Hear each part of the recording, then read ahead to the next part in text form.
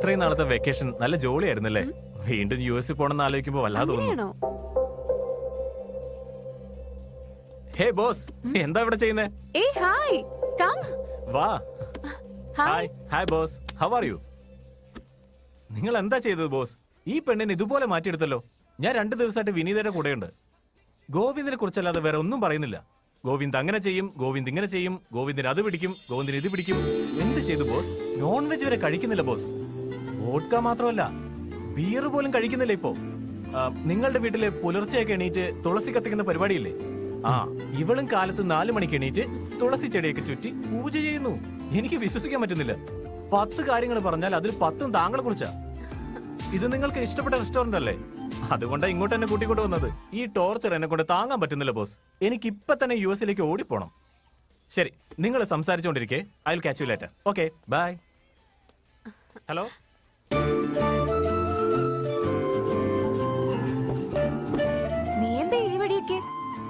അത് madam? Large vodka with orange juice no orange juice without vodka പിന്നെ veg burger നിനക്ക്? നീ എന്താ കഴിക്കുന്നേ? ദാറ്റ്സ് ഇറ്റ് ഓക്കേ മാം പിന്നെ? എനിക്കൊരു കാര്യം പറയാനുണ്ട്. എന്താ അത്? എന്റെ പേരൻസിനോട് ഞാൻ ഈ കാര്യം പറഞ്ഞു. വാവ് അവർ ഓക്കേ പറഞ്ഞു. വാവ് നെക്സ്റ്റ് വീക്ക് എന്റെ പേരൻസിനോട് സംസാരിക്കാന്ന് പറഞ്ഞു.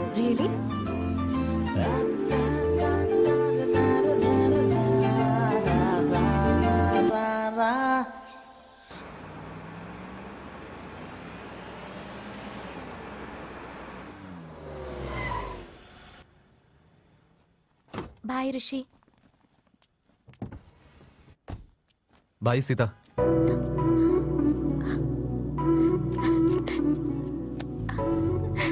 what a surprise നീ എന്നോട് ബൈ പറഞ്ഞിരിക്കുക അതും ചിരിച്ചോണ്ട്. We definitely have to celebrate ഏയ് അതിന്റെ ആവശ്യമില്ല. അല്ല ആദ്യമായിട്ട് ഒന്ന് ചിരിച്ച് സംസാരിക്കുന്നേ. അപ്പൊ ഒരു കോഫി എങ്കിലും കുടിച്ചില്ലെങ്കിൽ പിന്നെ എങ്ങനെയാ?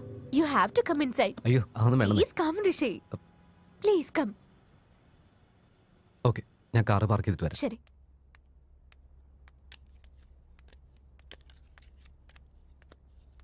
ടേക്ക് ഇറ്റ്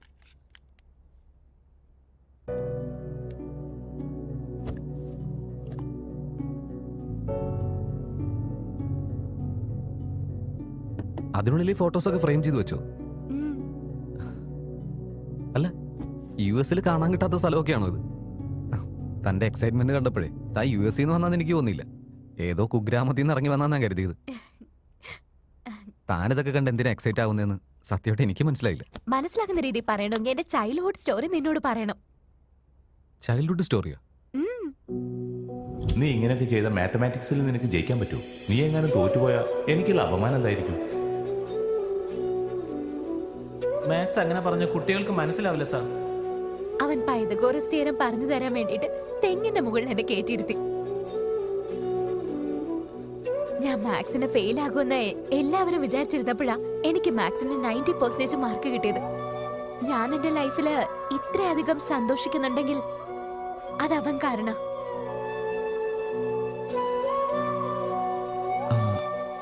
അവന്റെ പേരെന്താന്ന് പറഞ്ഞു? മഹാദേവ്.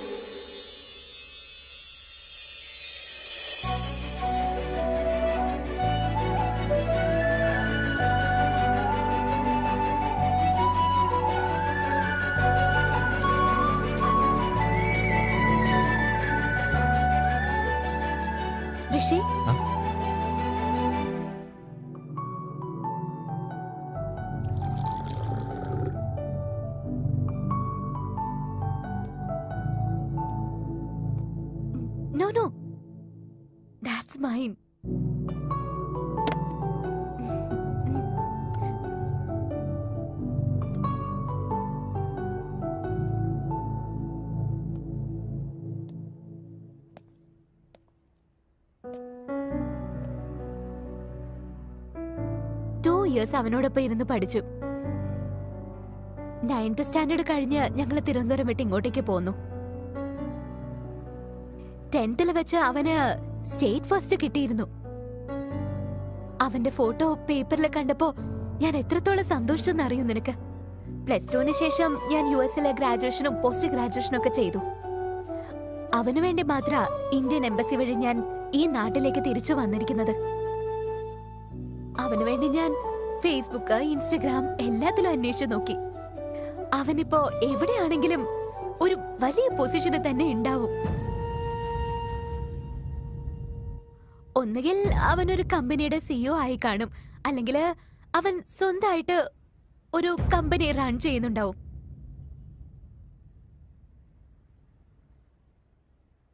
നിനക്കൊരു കാര്യം അറിയോ?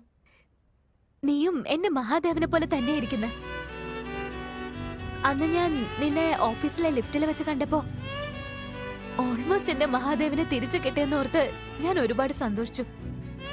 അതിനുശേഷം നീ ഋഷിയാണെന്നും നീ ഒരു ക്യാബ് ഡ്രൈവർ ആണെന്നൊക്കെ അറിഞ്ഞത്. ഋഷി എന്റെ മഹാദേവനെ കണ്ടുപിടിക്കാൻ നീ എന്നൊന്ന് ഹെൽപ്പ് ചെയ്യാമോ? Rishi can you please help me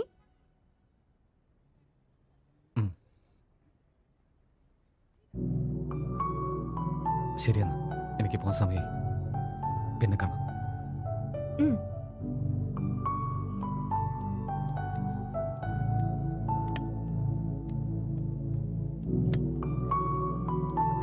ഋഷി.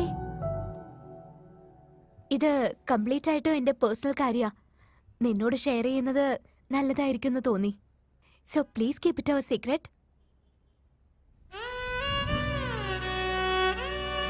ശരി.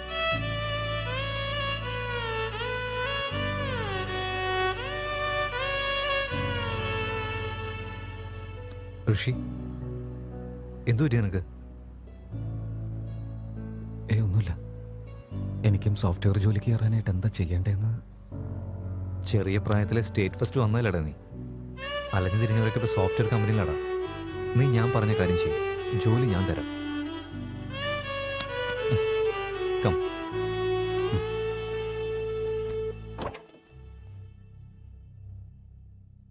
നിന്നോട് എത്ര തവണ ഞാൻ പറഞ്ഞു മാത്സിൽ നൂറ് മാർക്ക് വാങ്ങണമെന്ന് എല്ലാം ഞാൻ പഠിപ്പിച്ചതല്ലേ? എന്റെ ഡാഡിക്ക് എന്നെ ഇഷ്ടല്ലേ എപ്പോഴും എന്നെ വഴക്ക് പറയുന്നുണ്ടല്ലോ. സഞ്ജു പഠിക്കാൻ പറഞ്ഞ കിടന്ന ഉറങ്ങ്.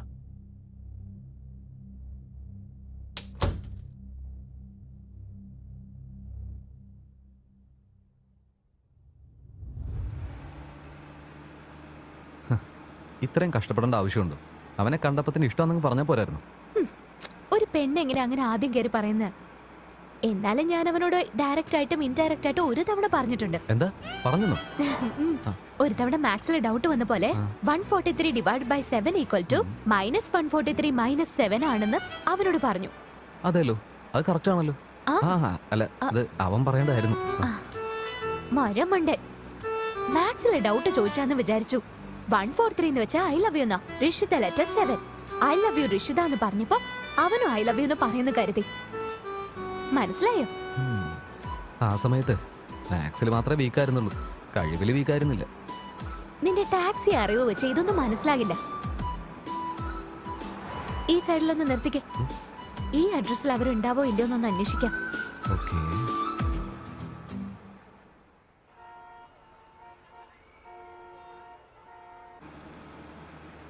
അതല്ല? ഈ മാക്സ് ഇക്വേഷൻ വഴി പ്രപ്പോസ് ചെയ്യാൻ പോയെന്തിനാ നേരിട്ടങ്ങ് പറഞ്ഞാൽ പോരായിരുന്നു. സെവൻത്തിൽ പഠിക്കുമ്പോൾ അവൻ ഡിസ്ട്രിക്ട് ഫസ്റ്റ് വന്നപ്പോൾ എല്ലാവരും അവന് ഗിഫ്റ്റ് കൊടുത്തു. ഞാൻ ചോക്ലേറ്റ് കൊടുത്തിട്ട് ഗ്രീറ്റിംഗ് കാർഡിൽ ലവ് ലെറ്റർ വെച്ച് കൊടുത്തു. അതിന് അവന്റെ അടുത്തുനിന്ന് ഒരു റിപ്ലൈയും കിട്ടിയില്ല. അവനത് കണ്ടു കാണുവോ? അതോ കണ്ടില്ലയോ? അവനത് ഇഷ്ടപ്പെട്ടോ? ഇല്ലയോ? ഒന്നും എനിക്കറിയില്ല.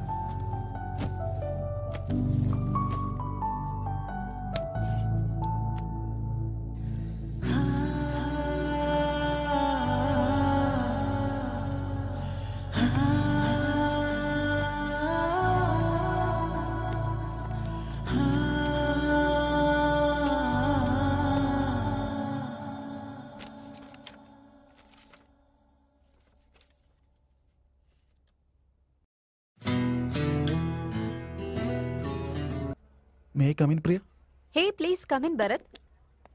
Have your seat. Feel comfortable, Bharat. Yeah, please have it. നിനക്ക് വേണ്ടിയാ മാറ്റി വെച്ച്. ഇവളെന്തിനാ ഇങ്ങനെ ഓവർ ആക്ടിങ് ചെയ്യുന്നേ? ആടിനെ ബലി കൊടുക്കുന്നതിന് ഞാൻ നിനക്ക് ഒരുപാട് പ്രൊജക്ട്സ് തന്നതാ. അയ്യാ താങ്ക് യു പക്ഷേ എല്ലാ പ്രൊജക്ട്സിലും നിന്നെ പറ്റി നെഗറ്റീവ് ഫീഡ്ബാക്ക് മാത്രമാണ് ഇനി എനിക്ക് നിനക്ക് പ്രൊജക്ട്സ് ഒന്നും തരാൻ പറ്റില്ല. ഒരു പക്ഷെ എന്റെ പ്രൊജക്ട് മാനേജർ എങ്ങാനും നിന്നെ സെലക്ട് ചെയ്യുവാണെങ്കിൽ ഓക്കെ ഇല്ലെങ്കിൽ വിത്തൗട്ട് എനി നോട്ടീസ് പീരീഡ് ഈ കമ്പനി നിന്നെ പറഞ്ഞു വിടും.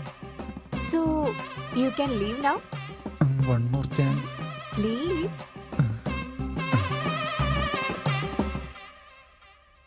അച്ഛാ എനിക്ക് അത്യാവശ്യമായിട്ട് ഒരു പതിനായിരം രൂപ വേണമായിരുന്നു. പെട്ടെന്ന് നീ പതിനായിരം രൂപ വെച്ച് കഷ്ടമാടാ മോനെ. അടുത്ത ആഴ്ചത്തേക്ക് ഞാൻ അയച്ചു തരാം അതച്ഛാ. വെക്കോടാ മോനെ. ഛേ